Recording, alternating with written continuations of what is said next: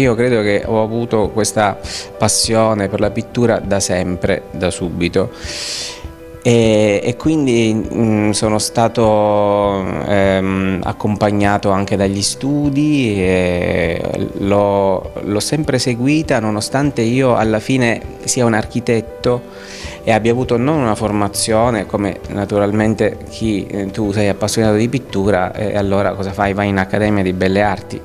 In realtà io ci sono passato dall'Accademia di Belle Arti ma eh, per tutta una serie di circostanze ho deciso di non continuare negli studi e iscrivermi in architettura a Reggio Calabria dove ehm, ho, mi sono laureato e la mia formazione da architetto io l'ho trasferita nei quadri e molto spesso la struttura compositiva molto ferrea nasce proprio da questo, dall'architettura.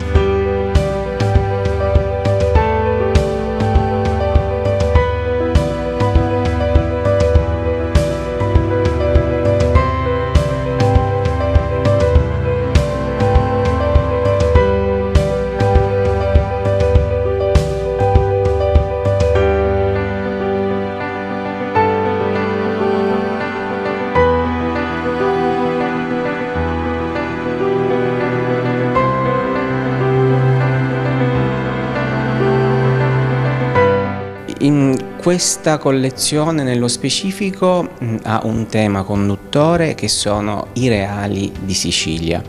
E Palermo ha ospitato eh, nell'anno 1000 una cultura straordinaria che è quella degli Altavilla che eh, un popolo che viene dal nord e eh, libera la Sicilia dai turchi e inizia una dominazione quella normanna, che ha dato alla Sicilia lo splendore di cui oggi possiamo andare fieri. Eh, voglio citare una tra tutti, la Cappella Palatina, che è una delle sette meraviglie del mondo. Un quadro nasce molto spesso da una folgorazione, non c'è un motivo che tu puoi spiegare razionalmente, anche se ti chiedono razionalmente mi dai una spiegazione. Durante una passeggiata eh, a Cefalù eh, ho visto il Cristo Pantocratore che c'è nella cattedrale di Cefalù. Una cosa straordinaria, per, in, per intenderci, eh, il, ehm, forse è più conosciuto di quello che si pensi. Eh, Giovanni Paolo II, quando fece il Giubileo dei Giovani, lo utilizzò come icona da mettere dietro le sue conferenze, dietro il palco, dietro tutto quello che è stato la macchina eh, organizzativa del Vaticano, quindi è diventato un, una pop star moderna, anche se di mille anni fa. E, e, da lì, insomma, eh, dalla passeggiata fatta in questa straordinaria chiesa, mi è nata la curiosità e mi sono chiesto, ma chi sono queste persone? Chi era Ruggero II? Chi era la regina Costanza d'Altavilla?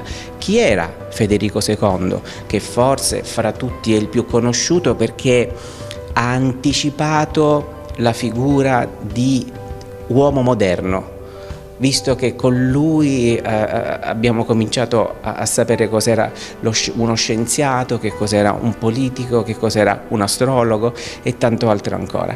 Ed è nata una collezione di 22 pezzi in cui si raccontano i reali appunto a partire dalla prima delle opere che è esposta qui alla GAM eh, del comune di Catania.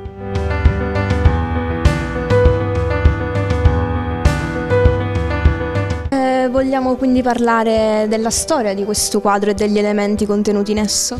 L'elemento principale dell'opera è la tiara eh, della regina eh, Costanza d'Aragona anche se alcuni storici eh, pensano che sia appartenuta in realtà a Costanza d'Altavilla, cioè la figlia di Ruggero II e la mamma di Federico II, perché alcuni particolari della tiara ehm, sembrano essere identici al mantello di Ruggero II che attualmente si trova a Vienna al Museo Nazionale.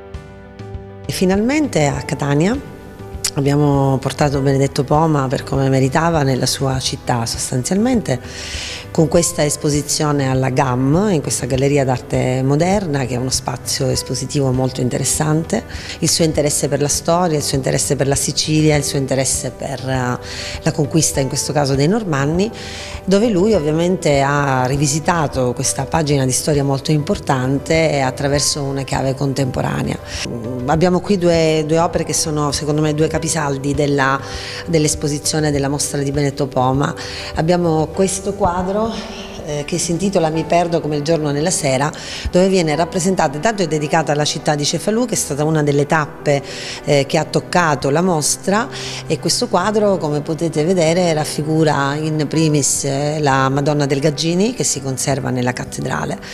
È bella ed è interessante la soluzione iconografica che ne fa Benedetto perché Benedetto ad esempio rappresenta la Vergine così stanziata al centro della scena e in questo caso simboleggia l'albero, così come è narrata nella, nella Bibbia, la Madonna è l'albero da cui viene generato il frutto. Il frutto è il bambino Gesù in questo caso il bambino Gesù e la Madonna si rivolgono verso l'umanità che è un po' il, diciamo, il testimone, no? la, cioè, Gesù dice a Maria ecco eh, questa è la tua progenie, tu diventi madre di tutti e, e lui lo fa, cioè l'albero dà il frutto che è il bambino, però è vero anche che il frutto è il limone ed è un, un frutto che simboleggia Cristo, quindi un frutto cristologico, ma in particolar modo rappresenta la passione di Gesù proprio perché è un frutto acre e quindi ci porta sostanzialmente alla sua passione. La passione che cosa genera? Genera il sangue versato, il sangue salvifico, quindi un valore apotropaico, che lui in questo caso mi va a nascondere, fra virgolette, in questo bellissimo monile eh, di eh, corallo e oro e argento che era tipico della Sicilia del Seicento, quindi della lavorazione del Seicento, dove il corallo mi simboleggia proprio il sangue. Senza la passione non c'è il sangue, quindi non c'è la salvezza e la salvezza viene da Maria.